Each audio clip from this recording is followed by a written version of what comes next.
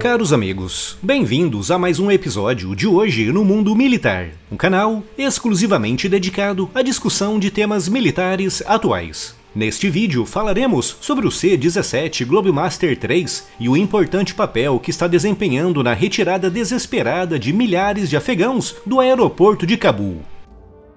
E se ainda não está inscrito no canal, inscreva-se já e acione o sino das notificações para não perder nenhuma novidade.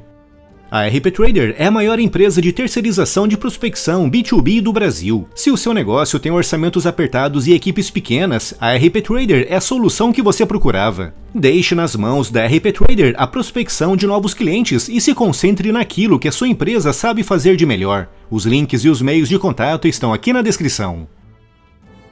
Nos anos 80, o Pentágono precisava com urgência de uma aeronave de transporte que não fosse tão grande e pesada como o C-5 Galaxy, mas que fosse maior e mais moderna do que o C-141 Starlifter, uma aeronave projetada no início dos anos 60 e que já estava dando sinais de obsoletismo. Essa nova aeronave deveria estar dedicada à missão de transporte estratégico, ou seja, o transporte de no mínimo 30 toneladas de carga por no mínimo 6 mil quilômetros, muito acima da capacidade e alcance das aeronaves de transporte tático, como por exemplo o C-130 Hércules.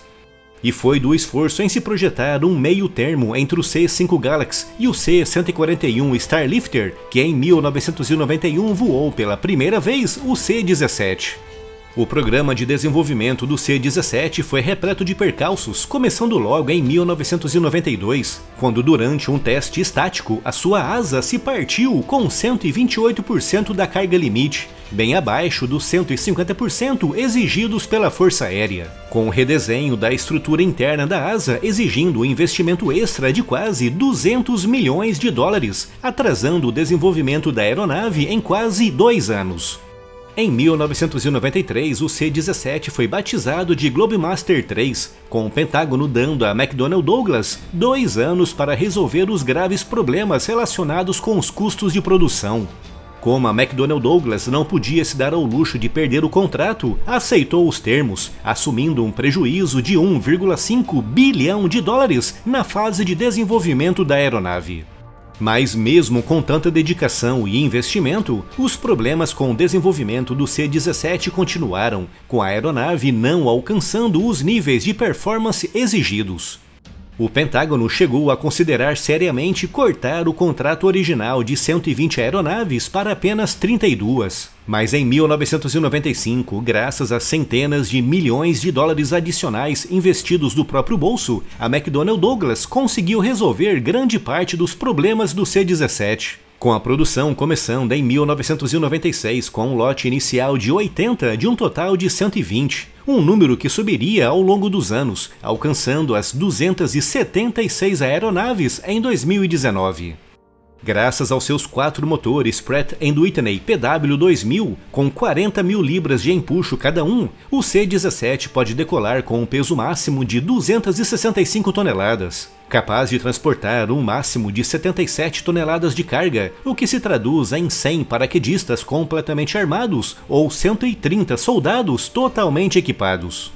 Pode também ser adaptado para evacuação médica, transportando 36 macas e 60 pacientes ambulatoriais, acompanhados por uma equipe médica de 10 elementos. Em termos de equipamentos, pode transportar um helicóptero Black Hawk, ou um blindado M1 Abrams, ou até seis veículos blindados de transporte M1117 Guardian. Com uma carga de 75 toneladas, pode voar por mais de 5 mil quilômetros antes de precisar de um reabastecimento aéreo.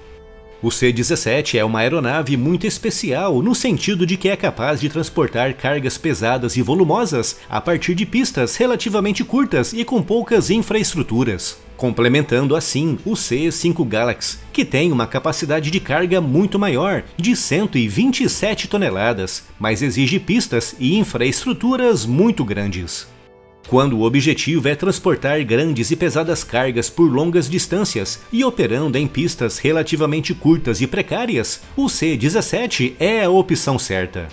As suas incríveis capacidades operacionais atraíram as atenções de muitos países, com o C-17 sendo operado hoje por sete países além dos Estados Unidos, com destaque para a Índia com 11. Como referi aqui, na sua versão padrão, com assentos padronizados, é capaz de transportar cerca de 130 soldados completamente armados e equipados, podendo chegar, também com assentos padronizados, a no máximo cerca de 300 passageiros civis ou militares, desde que não acompanhados por bagagem. Mas numa situação de autêntica emergência, o número de pessoas transportadas pode ser muito maior, como aconteceu no dia 15 de agosto de 2021 em Cabu, no Afeganistão, com o C-17 decolando daquele aeroporto com 823 pessoas a bordo, estabelecendo um novo recorde para o transporte de passageiros em um C-17. O recorde anterior era de 670 filipinos, transportados em novembro de 2012, evacuados após o super tufão Haiyan ter destruído a região de Tacloban, nas Filipinas. Graças à sua grande capacidade de transporte e manutenção relativamente simples e barata, o C-17 está sendo a aeronave padrão empregada na evacuação dos afegãos de Cabul, com cerca de 15 aeronaves empregadas pelas Forças Armadas de diversos países para evacuar militares, funcionários consulares e refugiados afegãos. Para os afegãos que procuram desesperadamente fugir dos talibãs, o C-17 representa a sua única possibilidade de começar uma vida nova longe da opressão.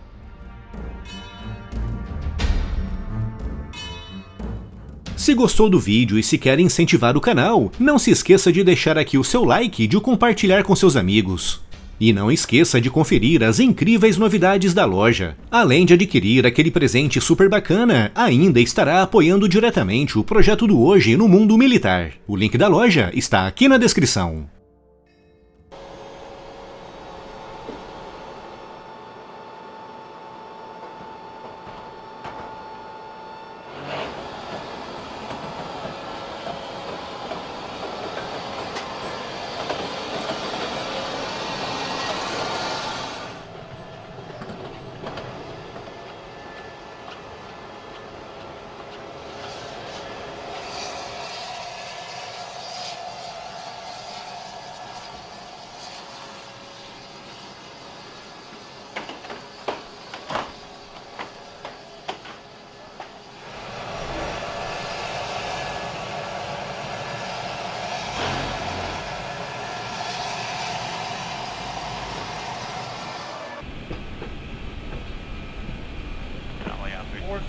right?